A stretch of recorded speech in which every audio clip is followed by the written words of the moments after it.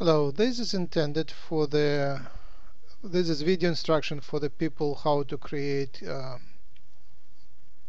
assign managers to YouTube page and uh, so they can do hangouts and also how to accept the invitation for the, to become the manager. So you go to YouTube. You came to YouTube and you have to switch from one channel to another. Also it shows how to switch from all one channel to another. So it says all my channels here or it says YouTube settings. So let's go to YouTube settings. And there you have see my channels or create new channels. So you have to switch to the right channel. So now I'm I can switch from one to another. So I go to this channel. So this is the channel which I'm now editing. And then I go to YouTube settings. So I have to switch to the right channel. And then that's the channel. And I say add remove managers. These are the managers which are invited. So if I need to invite new manager I say add managers.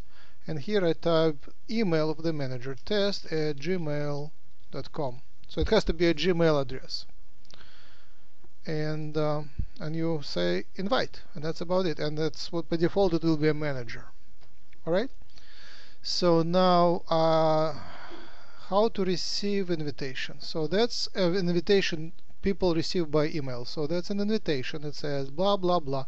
Max invited to become blah blah blah and you say become a manager and just click on that. And it will here say that he was already a manager because uh, it's already done. But uh, otherwise it's uh, that's um, it would accept you as a manager. Now how do you start a new hangout? There are several ways to start a hangout. I started from YouTube page YouTube page. So you go to your standard YouTube page and say upload which doesn't make any sense but you still click on upload. And here I will zoom out. Here you have hangout Google Plus Hangouts on air. So there is on air and off air. I'm talking about on air Hangouts. So the advantage of on air Hangout is that you can broadcast and record, but also you don't have to broadcast and record Un until you click the button broadcast. It is like off air Hangout. So that could be a universal way to start a Hangout. So you say broadcast, you click on here, which is the same thing, broadcast.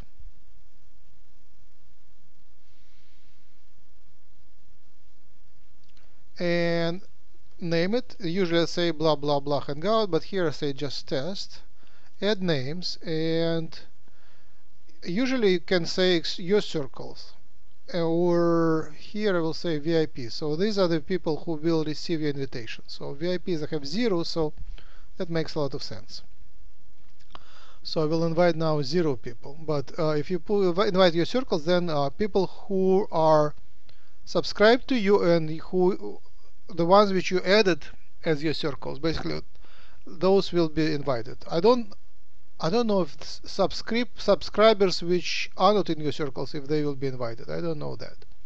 But usually you do your circles and then you kind of grow your circle and see who do you want to invite. Uh, require people to be 18 plus it's optional and then you say start hangout. Yes I'm starting it so multiple Hangouts can be started. Remember that once you started it, when you started the broadcast, then you have to keep the page open. If you leave from this page, the broadcast will be stopped and then you need to start another Hangout. So uh, you see that progress progress semicircle uh, started. So it's kind of started now. So uh, until you start broadcast it's just a regular hangout. If you want to invite someone by email you click on that link copy it and send it by email. So suppose I want to send it by email. I just start my Gmail account say start and then paste it.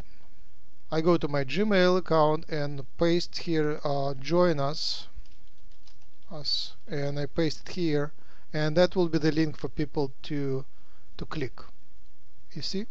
Now send. And now another way is through Skype. Let me see if I can do it through Skype.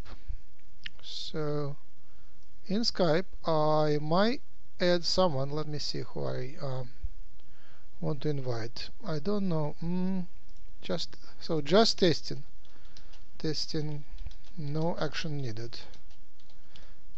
But that would be the link I paste. And then they click uh, they click on the link and that will be a hangout.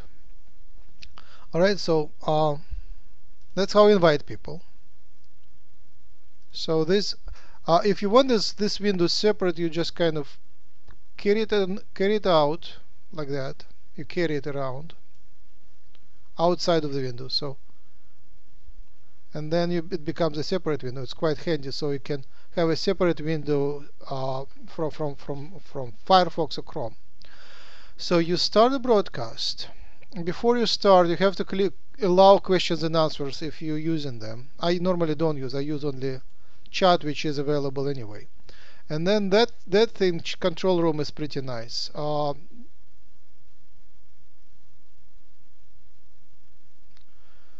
okay uh, so you can uh, uh, increase the volume and eject people which is very handy alright uh, and you want if you want to close you just close it here. If you want to open chat you open it here. And that's all I use for now. And then you start the broadcast. Uh, before that you have to make sure the microphone is working. So knock on your microphone and you see that that thing around. To the left of the broadcast uh, of the green button uh, you see it's moving. So that microphone is working. So if you have multiple microphones uh, you need to check that it's it's working alright um, here is mute here is um, turn camera on and off which is very handy. Uh, and here you can switch between different microphones. I have multiples and different cameras. I have multiples sometimes. Oh man this is speakers and I have one camera right now. But it's darkened because I'm I'm on a different I'm, I'm using it for for recording this video. Alright so you can change that. That's I use it very often especially when I on different computers switching between different microphones and cameras. So between headset and laptop microphones for example. Alright okay so that is useful. Uh, this is the button to completely end the, the broadcast. So there is a broadcast start and stop and then completely end the hangout. So that's the button to leave. If you just close the window the hangout might continue because other other people are there so uh, if something froze you can restart. So this is the button to re reload current page. I think it doesn't even stop the broadcast. Even if you started broadcast it's still well, let me try that. So I do the start broadcast. I have about four seconds to start. One two three four. Done.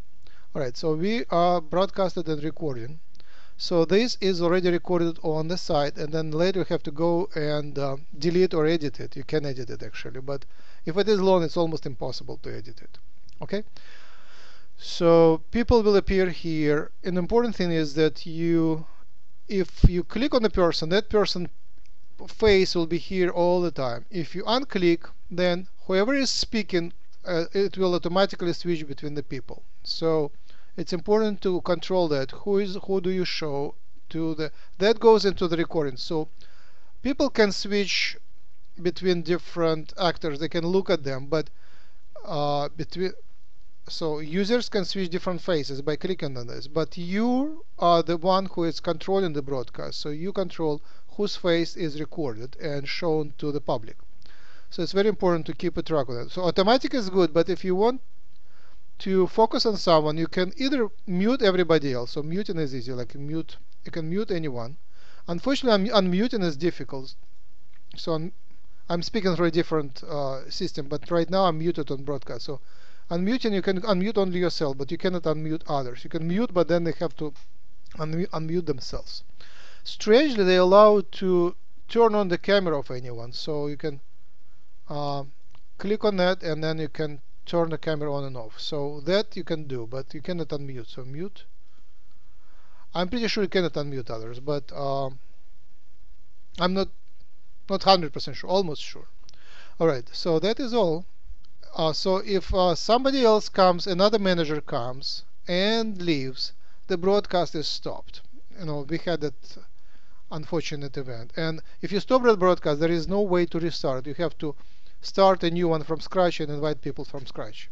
that is inconvenient.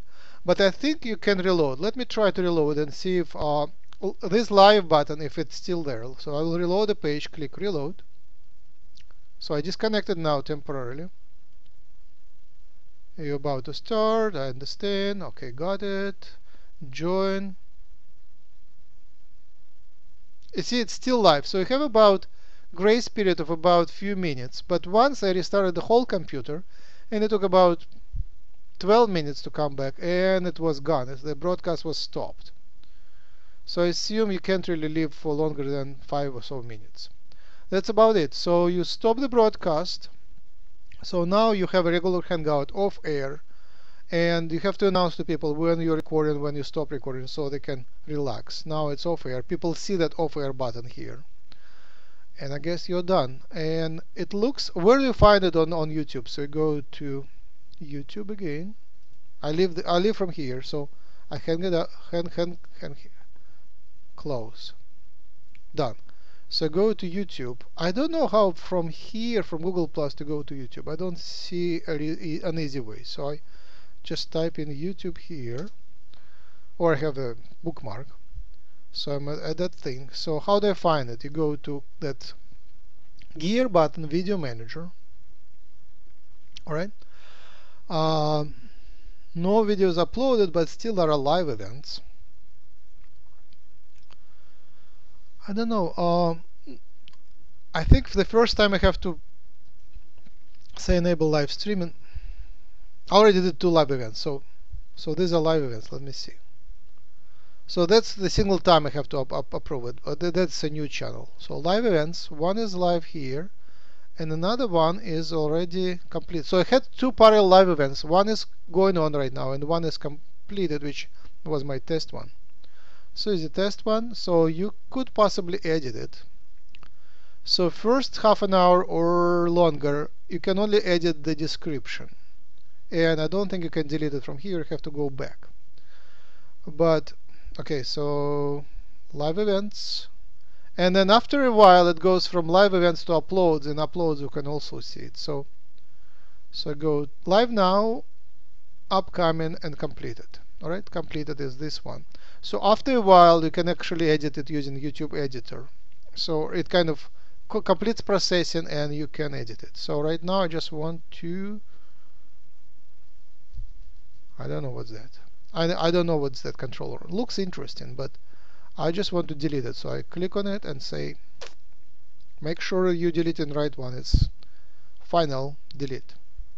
You can also, if you wish to, you can do it, make it uh, just private and then it's there but it is and save changes and then and then it is not visible to anyone except the managers again live events so and finally I'm delete no I don't want to delete this one. I want to delete completed one. This one. Okay delete. Actions. Delete. One video. Making sure it is a test one. Yes delete. That's okay. Delete. Done here. I think we're all done. Um, so the key was that link which I was sending by email. You also can post it on Facebook. You can post it on uh, your web page and that would be invitation. Unfortunately that link lives only for about an hour. So if you started your hangout and you're waiting for someone to come you can't wait for longer than an hour. I think if nobody is there, it will uh, terminate automatically. But if somebody came, if there is at least two people, it it will uh, run for up to eight hours. The hangout is eight hours. I think at eight hours is broadcasting time, so maybe you can even have a little longer. Maybe nine hours is the limit. So if, uh, but unfortunately, you can't today schedule something and send them participation link and have that, and have that. Um, other than through Google Plus. So on Google Plus, uh, you can schedule the event by going to I'm running out of time, have 20 seconds. So you go to Hangouts,